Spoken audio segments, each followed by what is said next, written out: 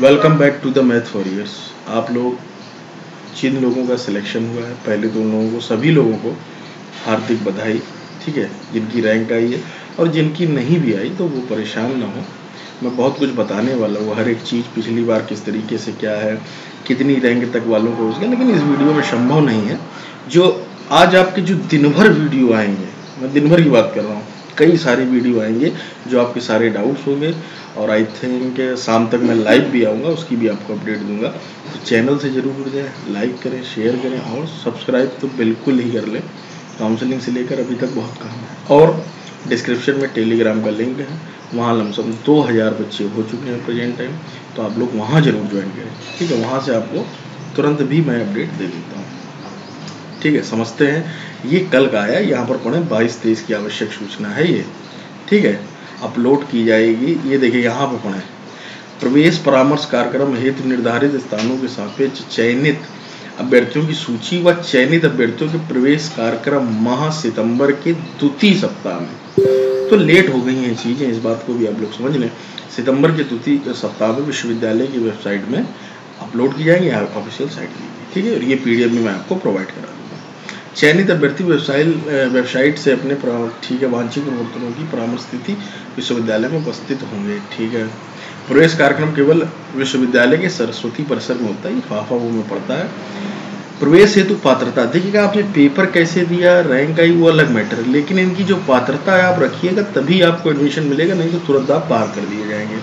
तो ये आप लोग पढ़ लें, ठीक है face to face mode NCT मैं ये सब चीज़ें बहुत बार बता चुका हूँ। अब समझते हैं कि फ़ीस क्या है क्या है? और यहाँ पर देखिएगा नोट ये इंपॉर्टेंट बात है, अहत्ता दिनांक प्रवेश परामर्श की पूर्ण होनी चाहिए, ठीक है? इस हेतु अंक पत्र प्रमाण पत्र एवं वांछित पर निर्धारित प्रारूप पर निर्धारित प्रारूप का मतलब समझ रहे हैं? ओरिजिनल रूप में प्रस्तुत करना होगा। साफ़ साफ़ लिखा हुआ, उत्तर प्रदेश की अन्य OBC S C S T के उत्तर प्रदेश की आरक्षण अगर आप लगाएँगे तो ही अंतर्गत दिया जाएगा। ओपन अनुसूचित जनजाति के बढ़ते प्रवेश अनारक्षित सूढ़ी के अंदर ओपन कैटेगरी के अंदर अन्य प्रदेशों के मतलब जो अदर स्टेट के बच्चे होंगे, वो जर्नल में जाएँगे सिंपल सी बात ना समझो, ठीक है? और आप लोग जो है कि आए आए प्रमाण पत्र नहीं लिखता तो फर्जी भी उसके चक्कर में ना पड़ा। काउंसलिंग है तो फ़ीस क्या रहेगी? काउंसलिंग शुल्क आपकी रहेगी पाँच सौ रुपये ये काउंसलिंग का चार्ज होता है, और अठारह हज़ार पाँच सौ रुपये आपकी फ़ीस रहेगी, अर्थात उन्नीस हज़ार, ठीक है? और यहाँ पर देखिए काउंसलिंग के समय बैंक ड्राफ्ट के रूप में जो कि वित्त अधिकारी प्रयागराज के नाम से दे होगा देना होगा पिछली बार तो कैश भी लगा था, अभी और इसका ऑफिशियल सब चीज़ें आएँगी तो क्या पता कैश भी ले ले तो इसके चक्कर में भी ना पड़े, ना भी बनवाएँ इतनी जल्दी, ठीक है? दूसरी बात बीएड प्रवेश पर, अन्य प्रपत्र क्या रहेंगे? बीएड प्रवेश परीक्षा का प्रवेश पत्र ज़रूर अपना रख लें, ठीक है भाई साहब? प्रवेश काउंसलिंग का पत्र, वो भी रख लें, वो आपका भी आएगा इसके बाद। पासपोर्ट साइज़ की दो नवीनतम फ़ोटो ठीक, वो हो गई एक रहता है एफिडेविट वो आप अपना बनवा लें, ठीक, कचहरी वगैरह से। तो वो शपथ पत्र, उसका भी ये प्रारूप आपके एडमिट कार्ड में देंगे, परेशान मत होइए, और मैं बता भी सकता हूँ उसका कोई, वो सब उसी टाइम काम होंगे। जब आपकी डेट आएगी, तभी मैं सब कुछ आपको बता दूँगा, ठीक है? काउंसलिंग पत्र के साथ संलग्न करने होंगे, प्रवेश पत्र काउंसलिंग पत्र के साथ संलग्न होंगे, यदि लागू हो। सक्षम अधिकारी उत्तर प्रदेश में, ये देखिएगा, जो सरकारी टीचर के लिए साफ़ साफ़ लिखा उसको पढ़ लो बहुत अच्छे से। सक्षम अधिकारी द्वारा प्रति हस्ताक्षरित उत्तर प्रदेश में स्थित प्रारंभिक विद्यालय में कार्यरत प्रशिक्षित शिक्षक का मूल अध्यापन प्रमाण पत्र व उसकी प्रमाणित छाया पत्री छाया प्रति प्रवेश प्रारूप के साथ संलग्न लागू हो। ठीक है? ये है। यदि लागू हो का मतलब यदि आप हों सरकारी टीचर तो। अगली बात करते हैं शासकीय प्रारूप में। वो तो जागरण यदि लागू यहाँ पर लिखा हुआ, अगर आप विकलांग और ये सब है तो तो लागू हो तो आप बनवा सकते हैं। बनवाएँ। यदि लागू हो तो ये भी लगवाएँ। प्रतिरक्षा श्रेणी भी आपकी लगेगी। अर्थात डिफेंस के ई समझते, ठीक है, मूल मूल प्रमाण पत्र और उनकी प्रमाणित छाया प्रति दोनों सभी के मूल और वो। और ये आपको अपने कागज़ तैयार रखने हैं। P K Pandey ji, professor, यही मेन है। हाई स्कूल इंटर स्नातक, सभी की मान लीजिए मार्कशीट और सनद, ठीक है, स्नातक की डिग्री ज़रूर होनी चाहिए, ना हो तो भैया निकलवा लो, ठीक है। एनसीटी ये सात नंबर बहुत इंपॉर्टेंट है। एनसीटी की।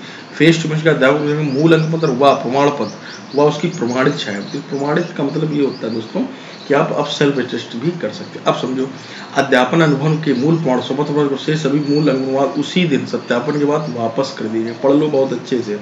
से सभी मूल अंक अर्थात आपके जितने भी कागज़ होंगे, उसी दिन आपको वापस कर देंगे, कोई टेंशन वाली बात नहीं। अगर कहीं आपके बीएसए के पास जमा भी हैं तो उनसे ले करके आप वहाँ दिखा दें, उसके बाद फिर बीएसए को जमा कर दें। ठीक है? जो सरकारी टीचर हमसे बोल रहे हैं उनहत्तर हज़ार में सिलेक्ट है, मुझे कागज़ नहीं मिले तो वो ये चीज़ कर लें ठीक है भाई साहब? ध्यान रखें कि निश्चित समय व तिथि पर उपस्थित न होने वाले और उक्त समय व तिथि की प्रवेश की समस्त आवश्यकता पूर्ण न करने वाले अभ्यर्थियों प्रवेश कर स्वतः समाप्त हो जाएगा। विलंब से ही, विलंब से आने पर आपके अनुरोध पर ही प्रवेश की औपचारिकता देर में पूर्ण करने पर उस समय उपलब्ध सीटों के आधार पर जो उस समय होंगी उस हिसाब से दिया जाएगा अगर आप लेट होते हैं। ठीक है? विचार किया। आपके द्वारा आवेदन पत्र में जाति, शैक्षिक अध्यापन, अनुभव, स्वतंत्रता ईडब्ल्यू की स्थिति आदि में संबंधित दी गई सूचनाओं के असत्य होने पर आपका प्रवेश अधिकार स्वतः समाप्त हो जाएगा। अगर आप लोगों ने गलत जानकारी दी है तो स्वतः समाप्त हो जाएगा। कोई चांस नहीं मिलेगा। यदि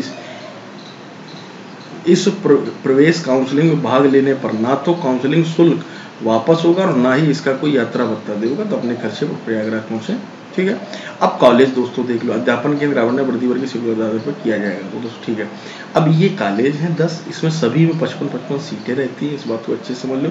टीडी कॉलेज जौनपुर, फैजे ये पढ़ लो, इसका स्क्रीन भी ले लो, इसको मैं वहाँ पर बेटा दस कॉलेज हैं।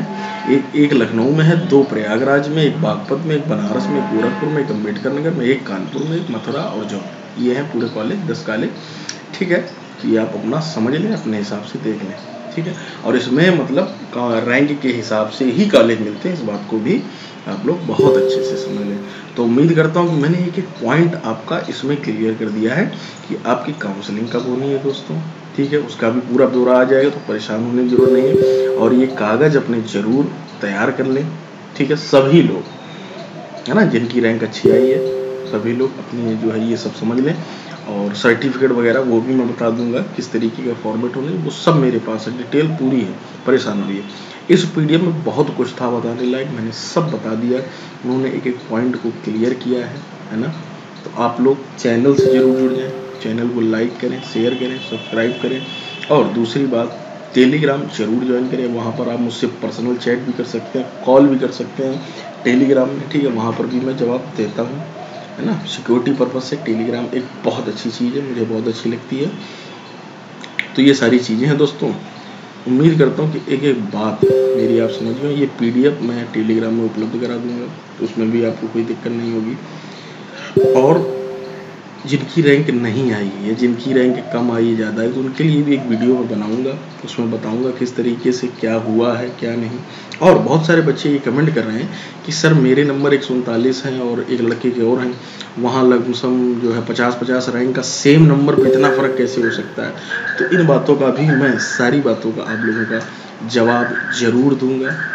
ठीक है, एक एक पॉइंट आपको समझाऊँगा जिससे आपको कोई दिक्कत ना आए। ठीक है? तो इसी उत्साह और उम्मीद के साथ जुड़े रहे मैथ वॉरियर्स के साथ मिलते हैं अगले वीडियो टिल देन